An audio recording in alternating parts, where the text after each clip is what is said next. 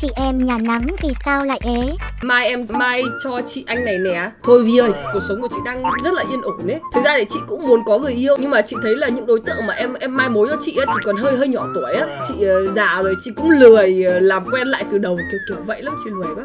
À hôm qua hôm kia. Hôm qua hôm qua đúng hôm qua valentine nhỉ? Hôm qua là đưa hàng đám đi mua quần áo ấy. Thì mình quên mất là kể mọi người một đoạn là trên đường về trên đường mình với cả hàng đám đi về á là mình với cả hàng đàm mới phân tích về cái sự ế của hai chị em. Thì nói chung là mình mình có một cái niềm tin là tất cả mọi thứ trong cuộc đời này đều có lý do hết, xảy ra đều có lý do hết. Bao gồm cả cái sự ế của mình với hàng đàm cũng có lý do luôn. Thì mình bảo hàng đàm là bây giờ nhá, chị mà suốt ngày ở trong nhà như thế làm sao mà chị có thể quen được người mới? Tức là chị không có thêm mối quan hệ thì sao mà chị có cơ hội tìm được người yêu đúng không?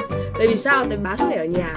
Hàng ngày bà chỉ lên livestream thôi bà không đi ra ngoài. Ví dụ bà đi ra ngoài bà gặp người này người kia. Ví dụ bà đi với bạn đi thì bạn có thể giới thiệu người này người kia chẳng hạn. Đúng đúng. Đấy hay là ít nhất thì bước chân ra ngoài đường đi đằng này cứ suốt ngày ngồi trong nhà sao có người yêu được. Mình cũng nói với cả hàng đàm cũng giải thích với hàng đàm nói chung là khi mà mình nói về một vấn đề thì nên mình luôn lấy ví dụ mình luôn phân tích rất là rõ ràng. Mình không bao giờ kiểu đưa ra vấn đề xong rồi vứt mẹ đấy cả. Bao giờ mình cũng kiểu như là giải thích vấn đề và uh, tìm cả giải pháp nữa. Đấy thì mình giải thích khi mà mình đưa ra vấn đề mình cũng lấy ví dụ vào bản thân mình. Tại vì bản thân mình lấy biết rõ nhất bây giờ mình không thể lấy ví dụ về người khác được đúng không? Thì uh, mình nói với hàng đàm là em nghĩ là cái lý do mà khiến cho năm vừa rồi em yêu hai người đều là hai người mà em đã quen từ trước đấy là vì em ra ngoài. Em không ra ngoài chứ mình không nói hàng đàm. Ờ, năm vừa rồi á là cái năm mà mình kiểu khá là bế tắc trong trong cái tâm lý á. Mình cả một năm vừa rồi mình chỉ ở trong nhà nhá. Ở trong nhà nhiều đến cái mức mà mà kiểu mình chỉ đi ra ngoài khi mà mình phải đi khám răng hoặc là mình phải đi làm gì gì đấy thôi, không không đi chơi. Mình không đi chơi, mình không đi ra ngoài làm gì luôn á mình chỉ đi ra ngoài vì việc mình phải ra thôi.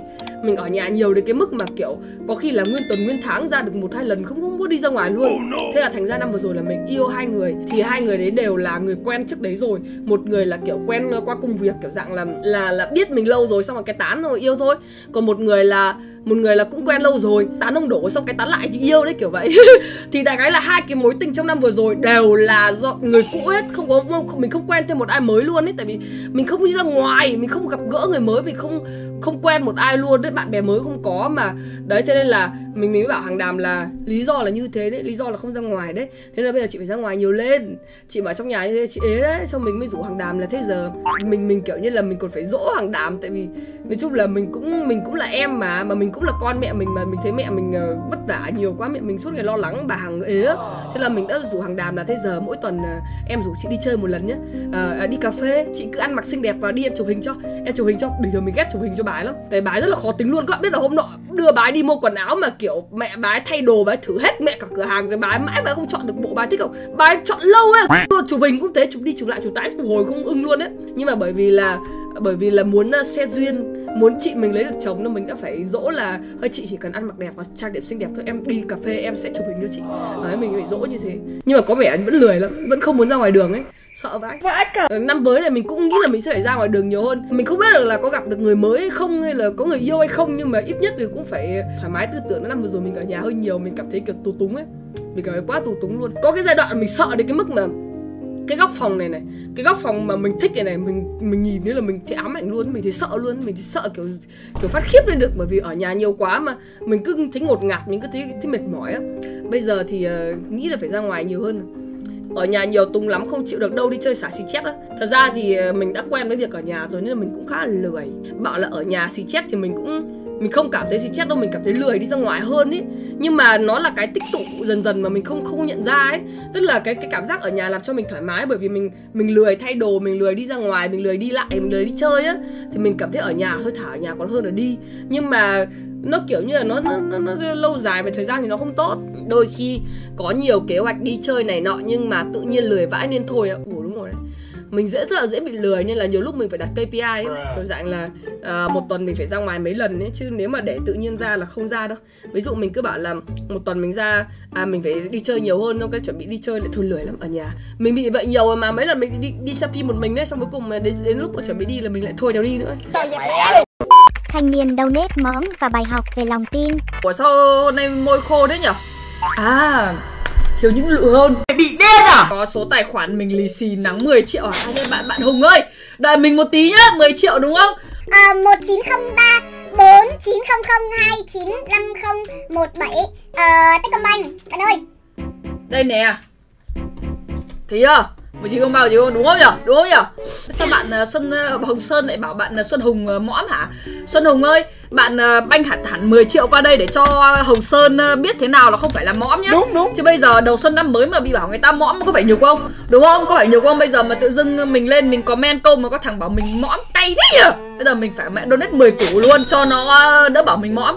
Thì không biết là bạn Xuân Hùng đã thấy số tài khoản của mình chưa? Xem có 10 củ chưa? Đây vẫn đang để điện thoại đây là thấy gì đâu.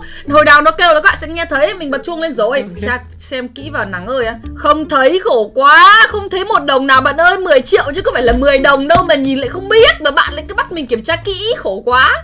Không có đồng nào cả nhá. Nhầm số cuối mất 10 triệu cho người khác á. Thôi bạn đừng có điêu. Nó không uh, nhầm số cuối nó không ra được số tài khoản khác đâu. Đây đây để mình uh, để mình check cho nhá. A few moments later. Không ra số tài khoản bạn nha. Nè 19 uh, không ra số tài khoản này. 0018 này.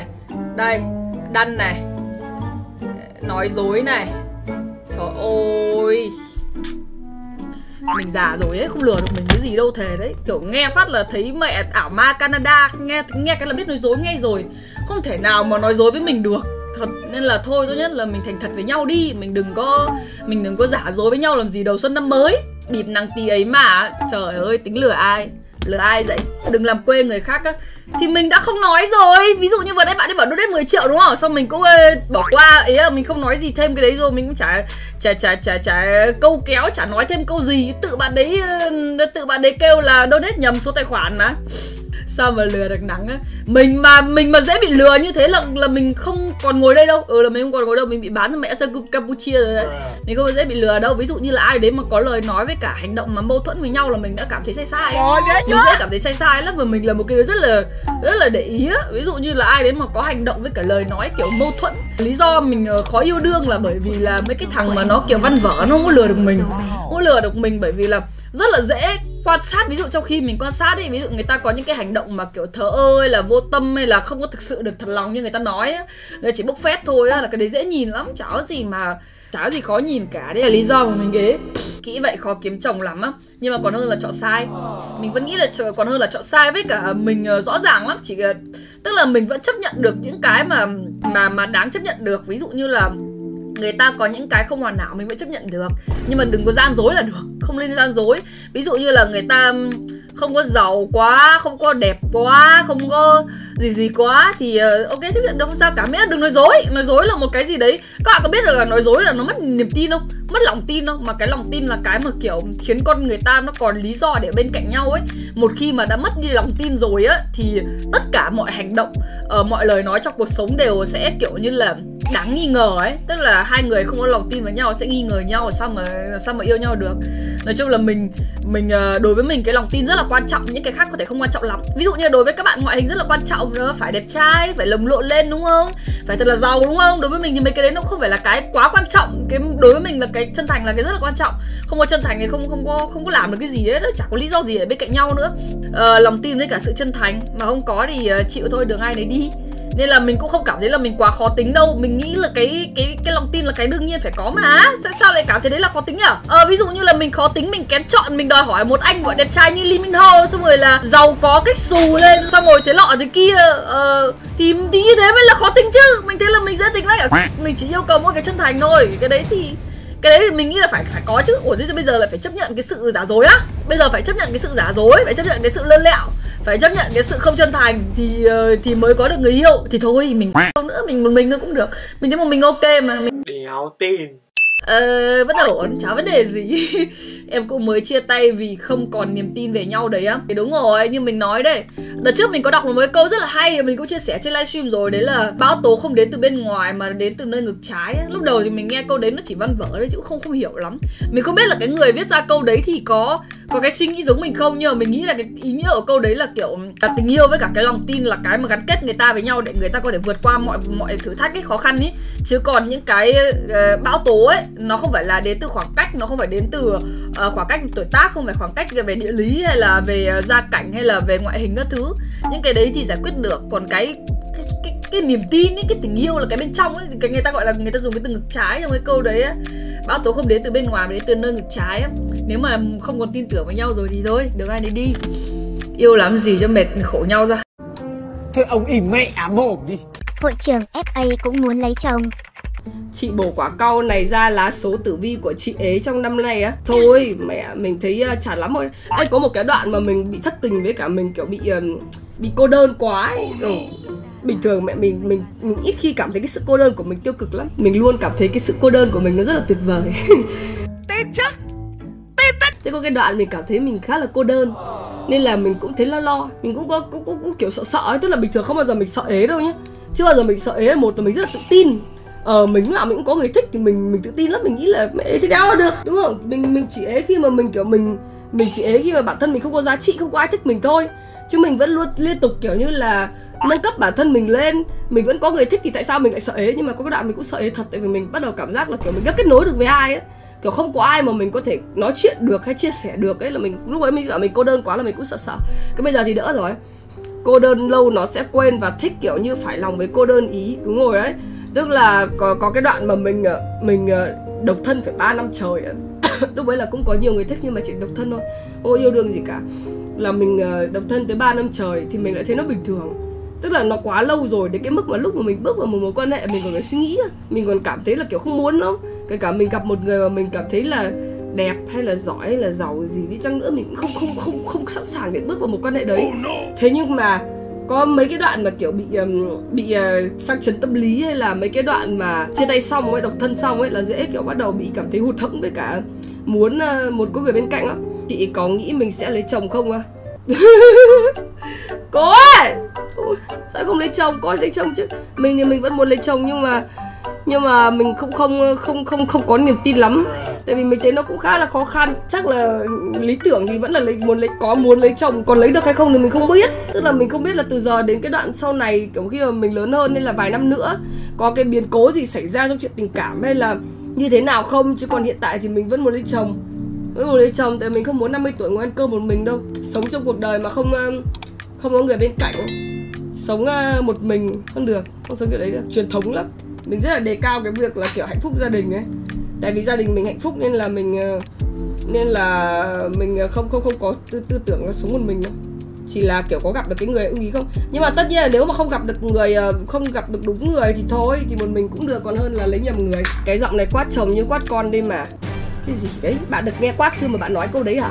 Bạn cứ mẹ bây giờ bây giờ bạn đi ra ngoài đường xong rồi bạn kiểu như bạn ngáp cái bạn gãi gãi cổ xong bà hàng xóm bảo là mày thằng này nghiện đấy, bà nói câu đấy thì lên mạng bắt đầu chửi, bắt đầu kiểu đăng status về cay cú này kia, kêu là, eo ơi, đúng là mồm hàng xóm. Xong rồi là chửi này kia, chửi người ta, cay cú khó chịu, đúng không? Nhưng mà mồm mình thì cũng không khác mẹ gì luôn, đi nhận xét người ta trong khi chả biết cái gì cả, nhờ. Đúng không? Bây giờ người ta ngồi đây, người ta nói như thế thì bảo người ta là quát chồng như quát con, đã nhìn thấy người ta quát chồng như quát con chưa? Nhìn thấy chưa? Đấy, xong rồi đến lúc mà người khác nhận xét mình như thế thì lại dựng ngược lên. Hay lắm, hay vậy lắm.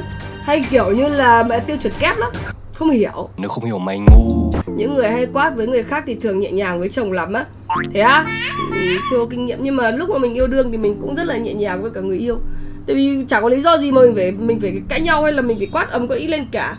Nói chung là kiểu ờ, ờ, lúc yêu đương vào thì mình nghĩ là cái tính nữ của mình nó vẫn nó vẫn thế thôi. Mình vẫn là em bé của người ta mà nói gì vậy? Những lời lẽ đê tiện gì cũng nói ra được sao